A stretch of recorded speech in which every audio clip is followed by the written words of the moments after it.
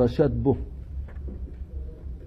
ויאמר השם אל משה בוא אל פרעה, כי אני הכבדתי את לבו ואת לב עבדיו, למען שיתי אותותי אלה בקרבו, ולמען תספר באוזני בינך ובין בנך את אשר התעללתי במצרים, ואת אותותי אשר שמתי בם, וידעתם כי אני השם.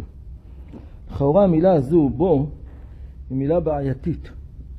כשאדם בא ואומר לשני, בוא אליי, אז אני צריך אותך, מכל סיבה שלא תהיה. אבל לא אומר, בוא אל מישהו אחר. לך.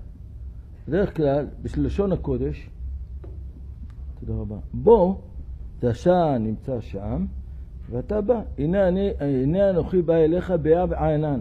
אני בא אליך. למה? בעבור ישמע מדברים עמך, בך האמינו לעולם. זאת אומרת שיש כאן מטרה אחרת. כשאדם בא אל מישהו, אז הוא בא אליו כדי לקבל ממנו משהו, לתת לו משהו. אבל כשאתה אומר ללכת, להגיד לו, להוציא את עם ישראל, צריך ללך אליו. אתה הולך אליו, אדם הולך למישהו, הולך לרב, רוצה את הרב, ילך אליו. רוצה את הרב, רוצה ממנו משהו, אתה רוצה לדבר עם פרעה, דבר איתו. אז מה זה בוא אל פרעה? באמת, חבטו בזה המפרשים, רש"י אומר, ויאמר השם למשה בוא אל פרעה ועטרה בו. מה רוצה רש"י בזה ועטרה בו? כל הזמן לא יתרה בו. מפרשת בו עד פרשת בו היה מטרה אחת ללכת אל פרעה, ומטרה אחת הייתה מטרה, מטרה להוציא אה, כל המכות. מפרשת בו ומעלה זה מטרה שנייה. מה שתי המטרות? עד פרשת בו המטרה הייתה שעם ישראל יצאו ממצרים. מטרה אחת ויחידה. שלח את עמי, שלום ישראל, תוציאו אותם. פרעה פעם, פעם מכביד את ליבו, פעם לא, פעם משתגע, פעם... מפרשת בו המטרה היא אחרת. לא בשביל שתוציא את בני ישראל, בכלל לא, אלא שלעם ישראל הם חומר מה לדבר בליל הפסח. לא בשביל מטרה מסוימת. מטרה להתעלל בפרעה, להוציא את נשמתו של פרעה לאט לאט. ולכן, בוא אל פרעה. יש מטרה אחרת, אתה צריך לבוא אליו כדי שתעשה את כל הקונצים, לא בשביל שאתה צריך אותו בכלל. ולמה אומר לו? נא תספר באוזני בנך. לכן זה הבדל גדול. לכן שימו לב, פרשת בו רק פעם אחת הוא אומר הקדוש ברוך הוא למשה, בוא אל פרעה. משם והלאה אין.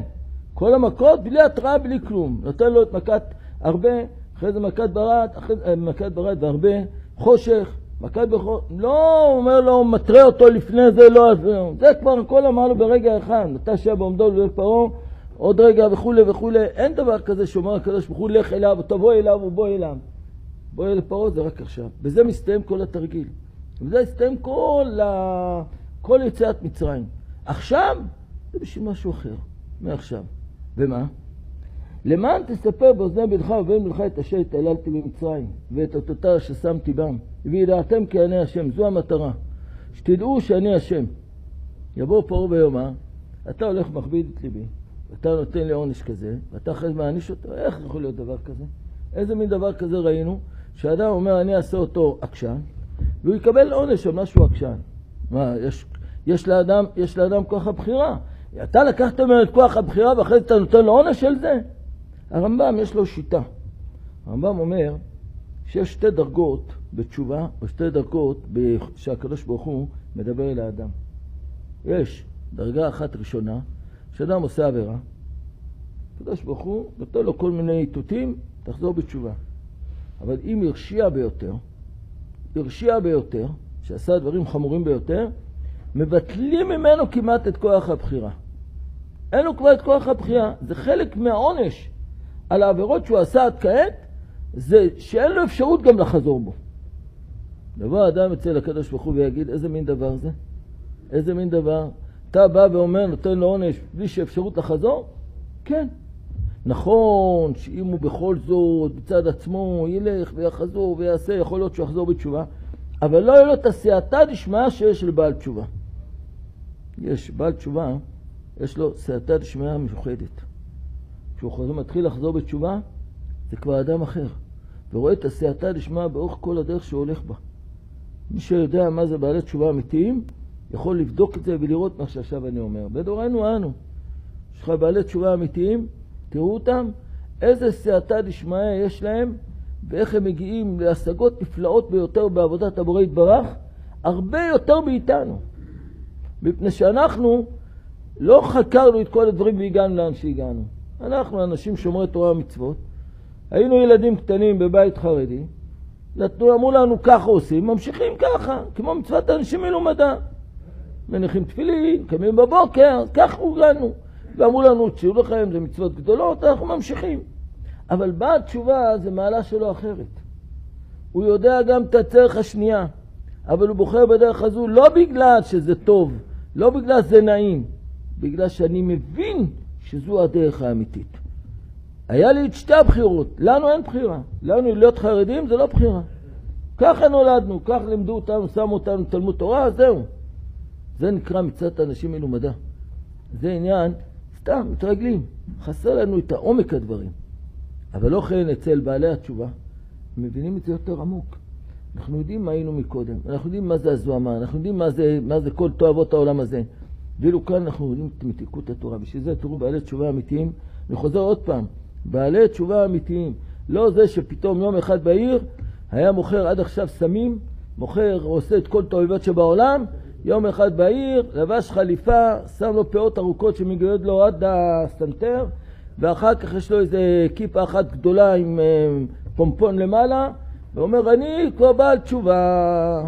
איך אתה בעל תשובה? ככה. אתה לא רואה איך אני נראה? היה אצלנו בבית הכנסת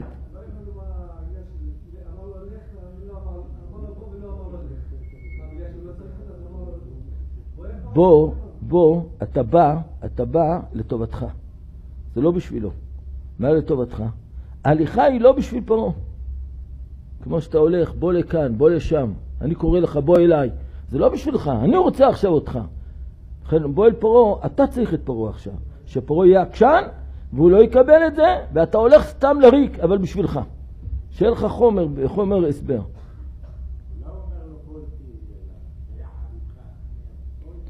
הקדוש ברוך הוא? לא. לא, לא אמר לו בוא איתי. הוא לא אמר לו בוא איתי, בוא אל פרעה, אתה תהיה עם פרעה, לא איתי. בוא, יש הבחנה גדולה בין לך, כשאני אומר לך לך אליו, לך אליו, ההליכה היא בשבילו. כאן לא הליכה בשביל פרעה, לא בשביל אף אחד.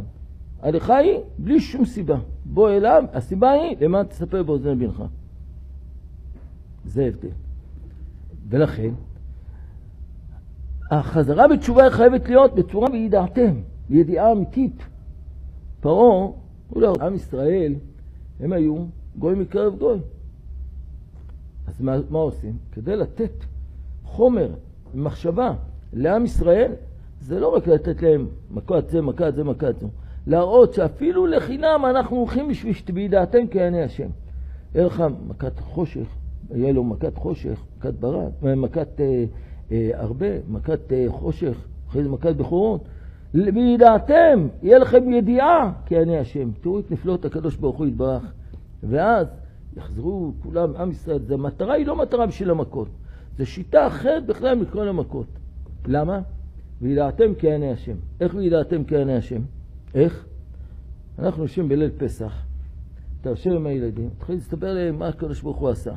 יבוא הילד וישאל, למה? למה הוא עשה להם את הדבר הזה? למה? אתה אומר, מספר לו, תראו, שאיבד את עם ישראל, הקדוש ברוך הוא יש לו, ביודע, יש לו אה, סדר במערכה, והוא גם כן שומר על עם ישראל. אתה מתחיל לחנך את הילדים שלך שהקדוש ברוך הוא שומריך. הקדוש ברוך הוא נותן לך את זה בצורה נכונה. אדם מרגיש את זה בכל צורה וצורה. זה המטרה, זה המכות האחרונות שנתן. לא המטרה בשביל שישלח את עם ישראל. כי אני הכבדתי את ליבו למען שיטי אותה אלה בקיבו. זה שיטות אחרות, זה ציבה אחרת, זה, זה לא קשור אלינו כלל ועיקר. זה הדבר היפה שבדבר. אבל יש כאן עוד נקודה. יש לפעמים, ברוך אתה אדוני, אלוהינו מלך העולם, שהכל נהיה בדברו. אדם חייב לחברו כסף. חייב לחברו. מגיע אליו, לא רוצה לתת. מה עושה? תובע אותו, תובע אותו בבית דין. הוציא לו את הנשמה, עד שאחרי זה הוציאו ממנו את הכסף שהוא חייב לו. אבל זה שקיבל את הכסף, ממורמר עליו. תראה מה שעשיתי לה שאני נתתי לך את זה ואתה מחזיר לי את זה ככה. היית יכול להחזיר את זה מההתחלה. יש בזה עוד משהו בתוך הלב. את הדבר הזה לא תיקנת בזה שהחזרת את הכסף. כדי, לה, כדי לתת לך את ההרגשה, כדי שאדם ירגיש, אנחנו מדברים מנוקה ממנו יותר, אבל הוא צריך להרגיש שהוא עשה כאן פשע לא על זה שהוא עכשיו החזיר את הכסף, איך החזרת את הכסף? איך אתה החזרת את הכסף? על זה מגיע לו עונש. פרעה עשה, לא רצה להוציא את עם ישראל. בשביל זה קיבל מכות, על כל מכה ומכה. עכשיו, זה לא בשביל שהוא מגיע לו מכות. גמרנו, קיבל. אבל אתה שילחת את עם ישראל, אתה רוצה לשלח, אבל אתה צריך לקבל גם כן משהו על מה שאתה עשית דבר לא טוב. הגיע הזמן להוציא את עם ישראל, ואתה משעבד אותם? עדיין לא אכפת לך? על זה מגיע לך על זה עוד דבר. זה לא, זה לא שאתה מלווה מחברו כסף והחזיר לו. אדם שהולך ולווה מחברו כסף, מגיע הזמן הפירעון, בא אליו, אומר לו, קח את הכסף שאתה חייב לי. המלווה מרגיש הרגשה טובה. הלוויתי וקיבלתי את זה בחזרה. אבל אם הוא אומר לו, לא, חכה, תבוא מחר, תבוא מחרתיים, תבוא יום אחר, תבוא זה, אחרי שנתיים מוציא לו אותם שבת שמקבל את הכסף, הוא יחזיר את הכסף. אבל החזרת הכסף היא לא שווה כלום. אין לו את הרגשה שהוא יחזיר את ההלוואה. זה מה שהקדוש ברוך הוא אומר. עכשיו, זה לא, זה עכשיו זה בשביל סיפור אחר. למען תשיתי אותה זה בשביל סיבה אחרת. למה? למה לא שילחת אותם? הרי אתה, אתה השתבעת בעם ישראל, על מה? ידוע, תדע, כי גר זרעך בארץ שלא להם, ועבדו מינו אותם ארבע מאות שנה. נגמר. מה אתה אותו מתעלל בהם? אתה מתעלל ממשיך? זה סתם רשעות. רשעות תקבל. זה כבר בלי שום סיבה. אני אעשה שלא יהיה לו כלום. זה יסוד היסודות ביהדות, שלפעמים יש מצב שאדם ירשע ביותר, גם אפילו אם הוא חוזר בתשובה, צריך לחזור בתשובה אחרת ממה שמישהו אחר חוזר בתשובה. מישהו אחר אה, חוזר בתשובה, ברוך השם. אבל אותו אדם שהרשע וכדומה, היה לו כל מיני אפשרויות ולא חזר בו, פי כמה זה יותר חמור. כאן, כאן זה יסוד. ויאמר אליהם, יהי חן השם עמכם, כאשר שלח אתכם את אפיכם, ראו כי רעה נגד פניכם. לא כן נכו עיני הגברים, וידעו את השם כי אותה אתם מבקשים. ויגרש אותם משה, ויגרש אותם מאת פני פרעה.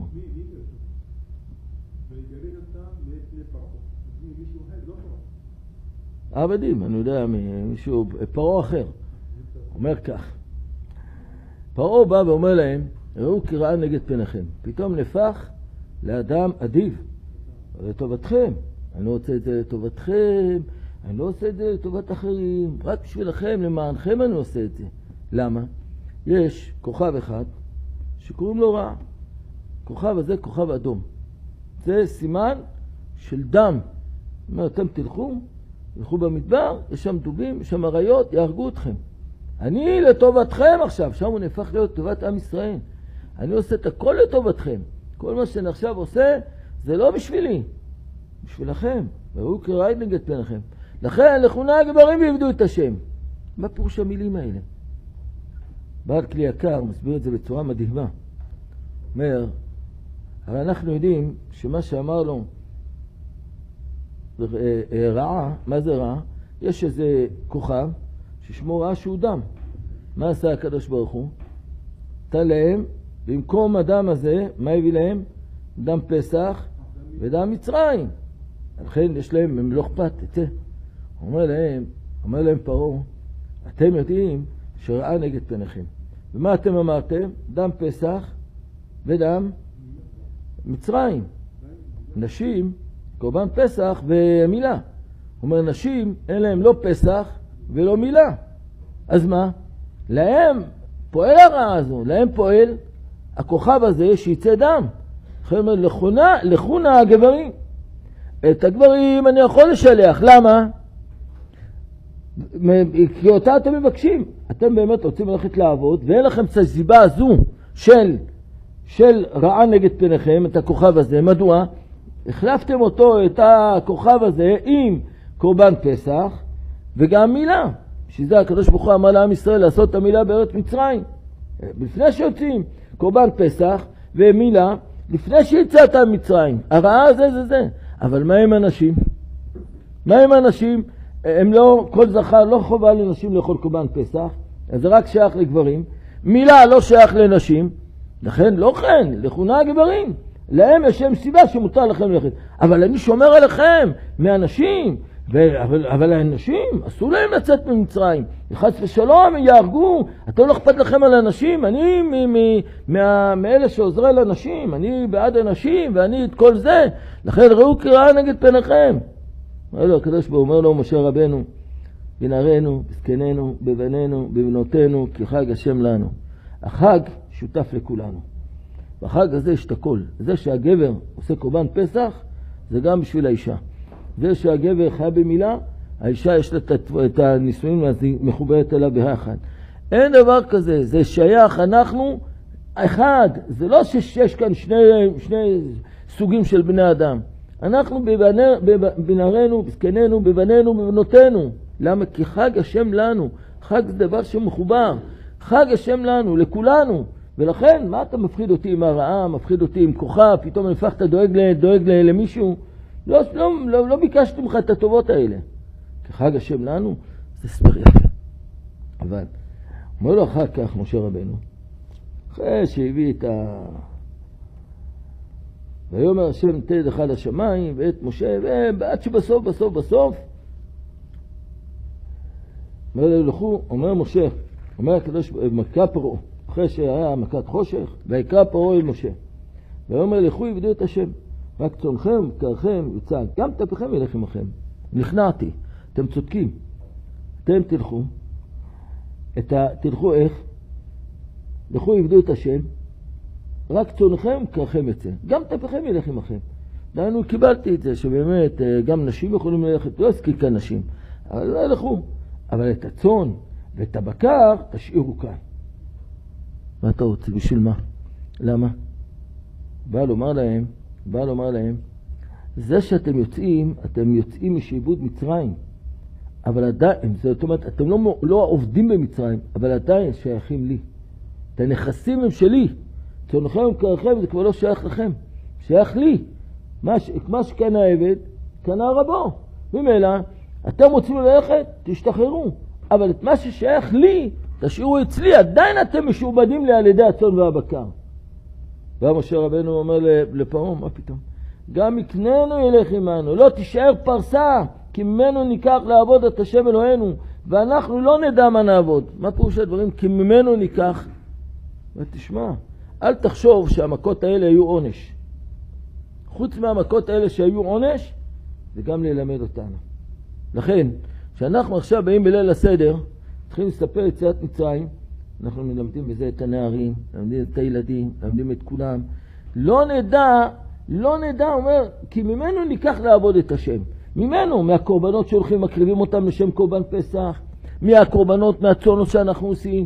יש לנו מצוות גם בבהמות, וכל המקנה שלנו זה חלק מאיתנו. זה לא כמו שאתם חושבים, תצאו החוצה העבדים שיצאו מלך ומשאירים שם את כל מה שהיה. זה הכל שייך לנו, ואת זה אנחנו צריכים לעבוד את השם אלוהינו. במה עובדים את השם? קורבנות שהיו בבית המקדש, במשכן. היו צריכים לקחת פה אלים, לעשות מזה יריעות, לעשות... ממנו, את כל זה אנחנו לוקחים, את הכסף שלנו משעבדים לקדוש ברוך הוא, לבורא יתברך. זה הדבר הנפלא ביותר. זה לא כמו שאצל אומות העולם זה משהו אחר, לא מעניין אותם. אבל יש כאן עוד יסוד. בנערינו, בזקנינו, בבנינו ובבנותינו, כי חג השם לנו. ישנם בני אדם שאצלם האווירה צריכה להיות של המבוגרים, של האנשים הזקנים, אבל הנערים, הילדים הקטנים, תן להם לשחק, עדיין לא מבינים כלום. מה אתה מכביד עליהם, נותן להם את כל המצוות, נותן ראיה. ילד בן 13 שנה ויום אחד מקבל מצוות, לפני זה אין חיוב ללמד אותו כלום. שיהיה כמו גוי. מה אכפת לך? אבל זו לא שיטה נכונה.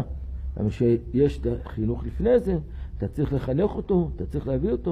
הוא אומר, אצלנו זה לא הולך בצורה כזו, מי שחייב בא לבית הכנסת, לכנסייה, משתחווה כמו פסל וגומר את הסיפור. לא, כי ממנו ניקח את לעבוד את השם לוקנו, עוד שאנחנו צעירים. לוקחים את הילד הקטן הזה, מחנכים אותו לתורה ומצוות ויראת שמיים. מביאים אותו לבית הכנסת שיענה אמן יהיה שמר הבא. מחנכים אותו איך לשבת בבית הכנסת. מביאים אותו לשמוע שיעורי תורה. ייילד קטן, מה הוא יכול לדעת? מה הוא יודע? משהו? כן. ממנו ניקח, מאותם הילדים הקטנים לוקחים לעבוד את השם אלוהינו כשיכנסו לח... לחיי מצוות. זה לא כמו שאתה חושב, לכו נא הגברים, לכו נא הזקנים, לכו זה, זה, זוחק אותנו. זה מה שהיה כאן בתחילת קום מדינת ישראל, זה מה שאמרו להם. אמרו להם, את הילדים תנו לנו לנוער. ואתם בזקנים, תשבו בבית הכנסת, תתפללו, תעשו מה שאתם רוצים, לא מפריע לנו, אבל את הנערים תשאירו לנו. תראו מה יצא מזה, דור שלם של יהדות ספרד הלך לאבדון. כמעט, כמעט, לא חס ושלום, לא כל. למה? חשבו שזה באמת, זה ככה, הגענו לארץ ישראל, טמטמו להם את השכל. זה הדבר הכי גרוע שיש כאן, בנערינו, בזקנינו, בבנינו, בבנותינו. תביא את הילדים שלך לבית הכנסת. אצלנו בבית הכנסת היה אחד שיש לו ילד קטן. בא, הפריע קצת, גירשו אותו. התחיל לבוא בלי הילד שלו. שאלתי אותו, למה הילד שלך לא בא לכאן? הוא אומר, תראה, הוא מפריע. אמרתי, למי הוא מפריע? הוא אומר, אנשים השתיקו אותו, אמרו שהוא מפריע. אמרתי לו, מה פתאום? תביא, שקצת יבכה, זה לא מפריע לנו. זה לא נכון, תביא אותו. היום הוא יושב, ילד הכי טוב שיש. יושב לך בבית הכנסת, יודע, מקום... מה זה הדבר הזה, ילד מפריע? ילד מפריע? אתה מפריע, לא ילד מפריע. ילד יושב בשקט, קצת יש לו, אמר שתי מילים, הפריע לך? לא הפריע. תראה את השניים, אלה, כל אחד צורח כמו אני לא יודע מה, אתה שליח ציבור טעה באיזה קריאת התורה, כולם צועקים עליו כאילו הוא הרג בן אדם. מה קרה? המבוגרים הם הבעייתיים, לא הילדים המסכנים האלה. תביא אותם, תביא אותם בבית הכנסת. שיתרגלו לבוא לבית הכנסת, לקבל קדושת בית הכנסת. מתי תביא אותו? מתי שהוא יהיה גדול, שאז הוא כבר בכלל ימאס מיבוא? בנערינו בזקנינו, זה הדרך הנכונה לחנך את הילדים שלנו. כי ממנו ניקח לעבוד את השם אלוקינו. מתי שהילדים הקטנים נמצאים, ניקח לעבוד את השם אלוקינו. כך אנחנו צריכים לגדל אותם. ולא לגדל אותם אחר כך ונגיד, הנה, מה אתה רוצה? תבין. לך תכניס אותו לישיבה אחרי שכל הזמן היה שתותת ברחובות, שיחק משחקים, לא חינכת אותו בדרך הנכונה. זה אחד הדברים שלצערנו הרב הם פושעים אצלנו, דברים, ילד קטן, מה יש? שיראה דברים אסורים. יש, היה פעם אימא אחת, שאתם יודעים, בים לא הולכים שם תערובת, חס ושלום. אז יש גברים ויש נשים. ויעשו במקומות מסוימים, יש יום לגברים, יום לנשים, דבר נפלא. אבל מה עושים הילד הקטן הזה? מה עושים איתו? אז אמא אומרת, אני לוקחת איתו איתי. למה? ילד עדיין ילד קטן, לא כלום, מה? את יודעת מה את? פגמת בו? את הרסת לו את החיים. את הראייה, הראייה הלא טובה שהוא ראה, זה את חושבת שהוא לא מבין. הראייה הזו, הנשמה שלו נפגמה. נפגמה. שפתאום הוא גדל, ופתאום אתה רואה, הפכת את אורו, התקלקל וכדומה. למה? מאשים את פלוני, מאשים את אלמוני. אם היית רואה באמת מתי בא בו הפגם, מתי שהילד קטן וראה מראות לא יפות. ילד קטן, מותר לו לראות דברים לא טובים? הוא לא מבין. מה הוא לא מבין? צריך להבין בזה? מה פירוש להבין? הנשמה שלו לא מבינה? הוא לא נשמה. מה הוא? כי ממנו ניקח. מתי שהוא ילד קטן, ניקח לעבוד את השם אלוקינו. מאז צריך כבר לחנך את הילד. אומר בספר חסידים כותב שאסור להשמיע לילד קטן שירים לא שווים, לא יפים. גם מתי שהוא קטן, תינוק, בן יומו, לא להשמיע לו שירים שאסורים לשמוע אותם, מה שאסור למבוגרים. מדוע? שאתה מחדיר לו, מחדיר לו דברים לא נכונים. זה מה שמביאים את הילדים קטנים, שרים השפן הקטן, אה, בכל מיני שטויות, שמים סיפורי של אלף לילה ולילה, זה מה שאתה צריך. ספר לו יציאת מצרים, הוא לא מבין. הוא לא מבין יציאת מצרים, אתה לא מבין, לא הוא לא מבין, הוא מבין ועוד איך מבין. האוזן שלו שומעת, שיגדל תראה שיצא גדול בתורה. ומה יצא גדול בתורה? האוזניים שלו שמעו דברי אלוקים חיים. חינכת אותו, בנית אותו בצורה נכונה. נדמה לך שהוא לא מבין. לכן כתוב מפורש, צריך להיזהר לא להשמיע, בעיקר בילדים קטנים, גם בילד קטן זה החמור ביותר, זה יציאת מצרים. יציאת מצרים זה לא רק לצאת ממצרים. יציאת מצרים, והבאתי אתכם אל הארץ, להביא לקדושה, לטהרה, ליראת שמיים. זה הדבר החשוב ביותר שיש. אותו דבר אומרים גם המלמדים. המלמדים צריכים להיות מלמדים טובים, יראי שמיים. הם יודעים להחדיר לאחרים. זה לא רק להעביר, להעביר. בבתי ספר של מלמדים היום, בתי ספר, המטרה שלהם להעביר ידע. זה מה שהם אומרים, אנחנו מעבירים ידע. נותנים לילד הזה, קח ידע. אבל לא מלמדים אותו חיים. בתלמוד תורה זה לא נכון, לא מלמדים ידע. ידע הוא יגדל, הוא ידע את הידע הזה. הוא לא צריך את הידע שלך ללמוד מהבוקר עד הלילה חומש, וחומש שביום אחד היה גומר את כל החומש. אלא אנחנו מלמדים אותו את היראת שמיים. בלשון הרחוב זה נקרא יידישקייט. יידישקייט זה יהדות אמיתית. תחדיר בו את היהדות, תגיד מה, הילד הזה, מה פתאום? מה שווה? רבי יהושע בן חנניה אמרו לה, אשרי יולדתו, שאמו הייתה מביאה את עריסתו לבית המדרש. היה אחד שהיה מביא את העגלה עם הילד הקטן שלו לשיעור. אמרו לו, למה אתה מביא? הוא אומר, רבי יהושע בן חנניה. חשבתי בהתחלה שבאמת הוא מביא, יש לנו בייביסיטר. הוא אומר, לא, אשתי בבית, כולם בבית. אני רוצה שהילד הזה ישמע שיעורי תורה. אתה אשריך ואשרי חלקך, זה הקטן גדול יהיה. שישמע. לפעמים פתאום הוא בוכה קצת, בסדר, תן לו בקבוק שלום על ישראל. מה קרה? ילד בכה, זה ילד סימה. מה זה הדבר הזה? מה זה הדבר הזה? צריך לשים לב בנערינו וזקנינו, בבנינו ובנותינו. לשים לב עליהם יותר ממה שאנחנו עושים, כי ממנו ניקח. שם מתחילים אתה לקחת יראת שמיים. לא מתי שאתה זקן וכדומה. לקחת מתי שהם נערים, מתי שהם ילדים. שים אותם במקום קדוש, שישמעו דברי אלוקים חיים. בבית לא ישמעו דברי, דברי, דברים אסורים, לא יראו פריצות, לא יראו כלום, יראו דברים קדושים. העיניים שלהם, המוח שלהם זה קדוש טהור. ממנו, משם אנחנו לוקחים לעבוד את השם אלוקינו. באותו זמן, באותו רגע. ולא שטויות ולא הבלים. היום לא מבינים את זה, היום זה שיטות אחרות של חינוך קלוקל. התוצאות אנחנו רואים במק... במקום אחר. תדעו לכם, חינוך ילדים, על כל דבר בחיים אפשר לנסות. בכל דבר בחיים אפשר לנסות, אפילו לקפוץ מגובה אפשר לנסות. תנסה! יש, מתחילים, מתחילים לאט לאט, אה, יותר גבוה, יותר גבוה, יותר גבוה, יותר גבוה, עד שאחד קופץ שלוש קומות, לא קורה לו כלום. זה, זה בענייני העולם הזה. בענייני יראת שמיים, בענייני חינוך, אין דרך חזרה. אתה לא יכול לנסות. ניסית אותו ויצא לך אה, העגל הזה, אתה לא יכול להחזיר אותו למה שעשית. בחינוך אין תשובה. אין תשובה, אתה לא יכול לחזור בתשובה בחינוך. קלקול בחינוך זה קלקול לאורך החיים. רק הקדוש ברוך הוא יעזור, שהוא יחזור בתשובה, יראה עליו, יראה עליו כוח של קדושה. אבל שאתה תגיד שאתה חוזר בתשובה, זה לא יעזור לך. ומה יעזור לך שאתה חוזר בתשובה? יודעים שלך יצאו תרבות, לא יודעת לכם, חס ושלום. לא אף אחד מכם, אני מדבר כאילו מדבר לאיזה גוף מסוים. כולכם ברוך השם, בנים, גדולי תורה ותלמידי חכמים. אני מדבר באופן עקרוני. אתה לא יכול לבוא ולומר, אני חוזר בתשובה, חטאתי, אביתי בחינוך הילדים. זה לא שווה לך כלום. מה זה שווה? לכן אפשר להסתכל. איך תדע? אם לא תדעי לך היפה בנשים. צאי לך בעקבי הצאן, הוריד גדויותייך משכנות הרועים. אומר שלמה המלך, אם לא תדעי לך היפה בנשים עם ישראל. אתה לא יודע איך לחנך את הילדים שלך. אתה לא יודע כל דור ודור שלו. מה עושים? צאי לך בעקבי הצאן. תלכי בצאן של דרו אבותינו ואבות אבותינו, תלכו איפה, איפה העקבות שלהם נמצאים. צאי לך בעקבי, ראי את גדיותייך על משכנות הרועים. תגיעי לאן הרועים האלה שראו את עם ישראל במשך אלפיים, שלושת אלפים שנה. על פי זה תדעי מה שהוציאו הדרים הדרים. תלכי וראי את גדיותייך על משכנות הרועים. ולא תאבדי אותם ככה בצורה מזעזעת. יש גם המשך לדבר הזה.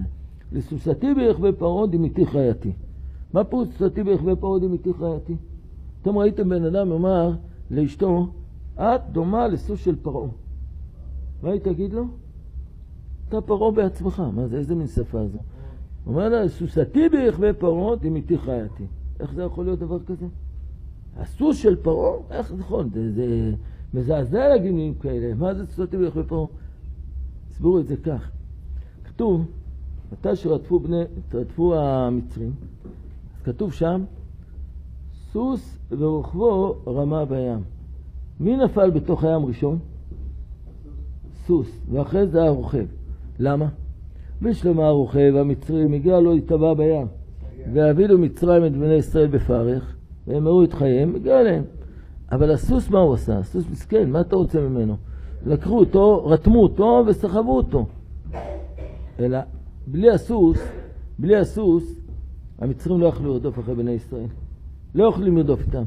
הם נצאו לפני זה, ועד שהגיעו וכדומה. מי עשה את כל המהלך הזה שהם, שהמצרים יוכלו לרדוף אחרי בני ישראל? זה הסוסים. הסוסים הם אשמים יותר, מהמצרים. מפני שבלעדי הסוסים לא היה המצרים יכולים לעשות את מה שעשו. לכן הסוסים קיבלו עונש תחילה. מדוע? מי שמסייע לעוברי עבירה, הרי הוא עובר את העבירה פי שתיים מאותו אדם שעבר את העבירה.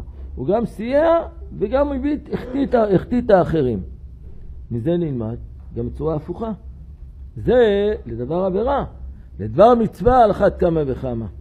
אומר, אישה, נשים במה זכיין? מה מגיע להם זכות? במה הם, מה, בעולם הבא, מי ש... אומרת הגמרא, מי שיש לו טל תורה, טל תורה מחייב, מי שאין לו טל תורה, אין טל תורה מחייהו.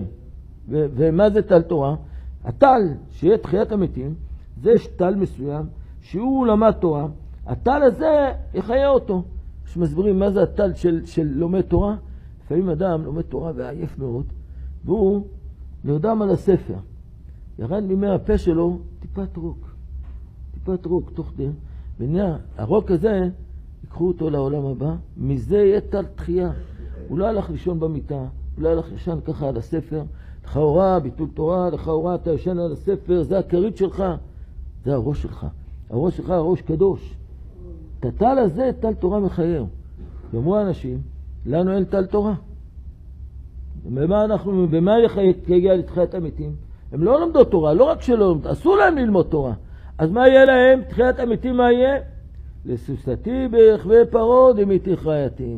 את לוקחת את, את הילדים, מחנכת אותם לתורה. את שולחת את בעלך ללכת לשיעורי תורה. כמו הסוסים, שהם לקחו סוס ועופור רמה בים. מי, מי סבל, מי קיבל את העונש ראשון? הסוס. כך לעתיד לבוא, מי יקבל את השכר הראשון יותר מכולם? אותה אישה. לא יודעת קרוא וכתוב, מעולם לא למדה גמרא, לא יודעת כלום, תמימות, צדקות, כשרות, היא תהיה לפני בעלה כמה לתחיית המתים. למה? את מסייעת. זה אומר, צאי לך בעקבי הצאן, תחנכי את הילדים שלך בתורה ויראת שמיים. את תקבלי את השכר הגדול ביותר שיש בעולם הבא, יותר מהגבר, יותר מכולם. שמח זבולון בצאתך ויששכר באוהליך. יששכר זה תלמיד חכם. זבולון זה המסייע לתלמיד חכם. אז מה זה שמח זבולון בצאתך ויששכר באוהליך? האישה, האישה היא זבולון, מסייעת לבעלה. והבעל הוא יששכר. הוא אומר, את אישה, מגיע, מגיע לך שכר פי כמה מהתלמיד מה, מה, מה חכם. למה?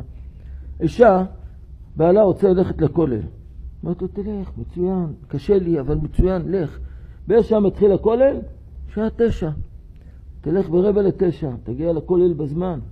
מרבע לתשע, האישה הזו כבר שעון של סיוע לתורה כבר מתחיל לפעול. שמח זבולונו בצאתך. איך שהוא יוצא מהבית, כבר מתחיל אי סייעה לבעלה. אבל יושב אותו תלמיד חכם, הלך בדרך, פטפט שם, ראה מישהו, דיבר, עד שהגיע לכולל, שעה תשע וחצי.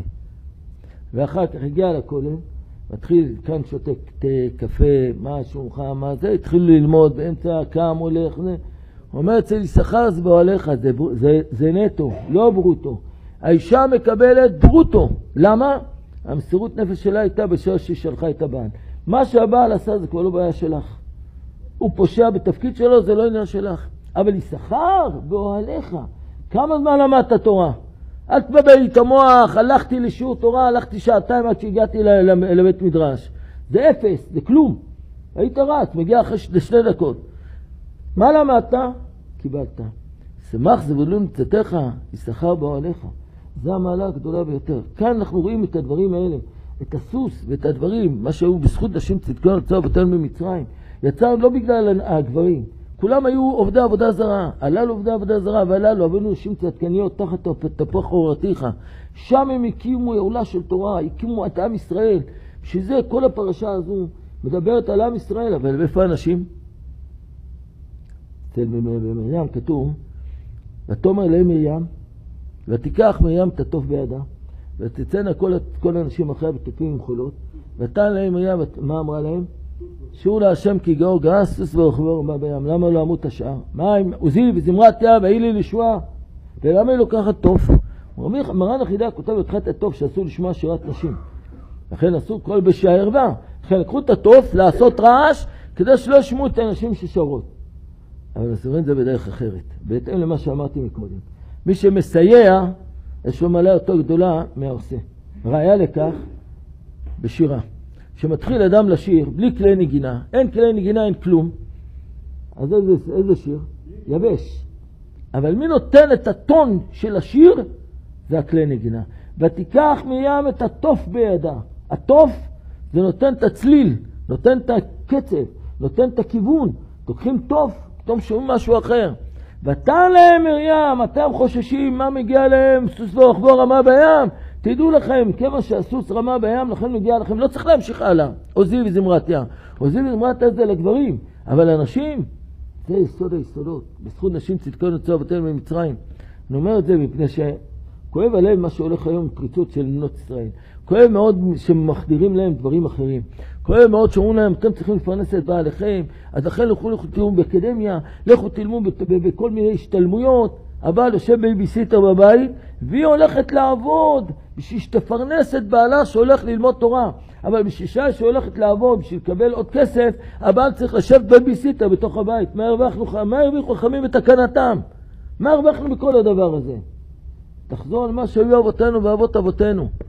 אין דבר כזה ללכת, אני לא אמרתי לסייע, אפשר לסייע לבעל, לא באקדמיה, לא להיות פרופסורית ולא דוקטורית, מה שהיום בכוונה עושים מלאכתית בנות ישראל. מה אנחנו צריכים כל הדברים האלה? מה אנחנו צריכים ללכת את כל הזבל, את כל הזוהמה שהולכים שם ברחובות? בשביל מה? מה רע בזה שאישה יושבת בכתב ביתה ומגדלת בניה לתורה ויראת שמיים? למה הם צריכים את זה מי יודע מה? תראו, גדולי ישראל איך יצאו? יצאו על ידי נשותיהם, שהם לא ידעו קרוא וכתוב אפילו, לא ידעו קרוא וכתוב, אבל הקימו עדרים לתורה ויראת שמיים. מאיפה זה בא? מאיפה זה בא? זה בא בזה שהם ידעו מה התפקיד של האישה בעולמה, מה התפקיד של האיש בעולמו. את הדבר הזה צריך להחזיר אותו למה שהיה. יציאת מצרים מלמד אותנו, זה לא, זה תלוי מה, אפילו עלה לעובדי עבודה זרה ועלה לעובדי עבודה זרה. אבל בזכות נשים צדקניות יצאו אבותינו, מה הם עשו? כלום. תחת התפוח או המשיכו לחנך, לתמוך בבעליהם וכדומה, זה הזכות שלהם. אנחנו נמצאים באותו מצב, נמשיך הלאה. לדעת את המטרה של כל אחד ואחד בעולם הזה. נדע את זה, נבוא לעולם הבא בעזרת השם. בבנינו, בנותינו, יבוא משיח צדקנו ויבוא יגאלנו, בבנינו, בבנותינו, בצוננו, בבקרנו, כי חג השם לנו. כן ייתן השם וכן יוסיף. תזכו לראות את כל בניכם, בנותיכם, גדולים בתורה ויראת שמיים, לא יישמע שוד ושבר באף בית בעם ישראל. תראו שרק רק ששון ושמחה ישיגו, נסו יגון והנחה. נזכה לגאולה שלמה, בגאולה במהרה בימינו, אמן ואמן. אנחנו נמצאים היום בשנת, בחודש שבט. מה זה? שנשמע בשורות טובות. שלום, ברכה טובה.